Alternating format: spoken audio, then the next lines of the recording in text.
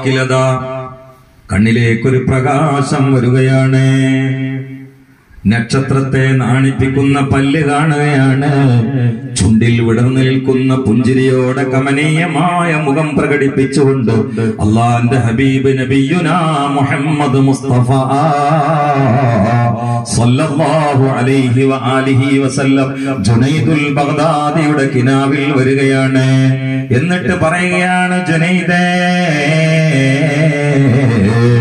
ഉസ്താദ് പറഞ്ഞതുപോലെ എന്തുകൊണ്ട് പ്രഭാഷണം പ്രാരംഭം കുറിച്ചില്ല?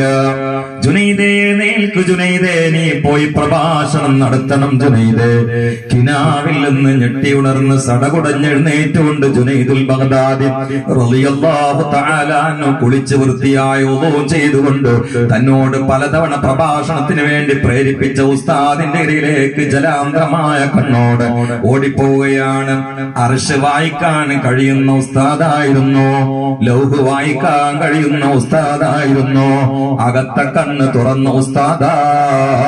അതുകൊണ്ട് തന്നെ തന്റെ മുമ്പിൽ കണ്ണുമൊരുതി വെള്ളമൊലിക്കുന്ന അവസ്ഥയിൽ എന്തോ കണ്ട് ഞെട്ടിത്തെറിച്ച് കടന്നു വരുന്ന പ്രിയപ്പെട്ട ശിഷ്യനായ ജുനൈദുൽ ബഗ്ദാദിയോട് മുഖം നോക്കിയിട്ട് ഉസ്താദ് പറഞ്ഞു ജുനൈദ്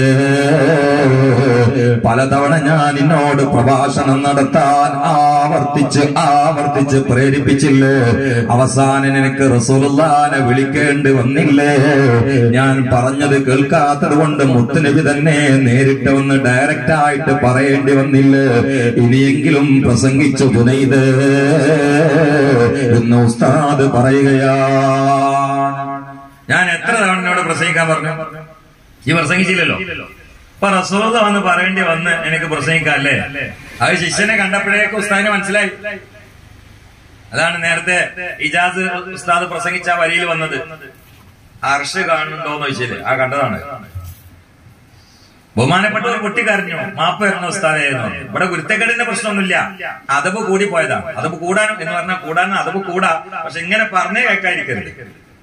ഒരു കാര്യം ഇപ്പൊ ഈ ഷരീഫ് അഷ്റഫിക്കൊക്കെ ഉള്ള ഏറ്റവും വലിയ പ്രത്യേകത എന്താ വെച്ചാൽ ഞാൻ എന്തെങ്കിലും പറഞ്ഞാൽ അദ്ദേഹത്തിന് കഴിയോ ഇല്ലയോ എന്നൊന്നും അദ്ദേഹം നോക്കൂല. ഏറ്റെടുക്കും. എന്നാ കഴിയും ചെയ്യും? അങ്ങനെ. ചിലരുണ്ടാവും ഉസ്താമാർ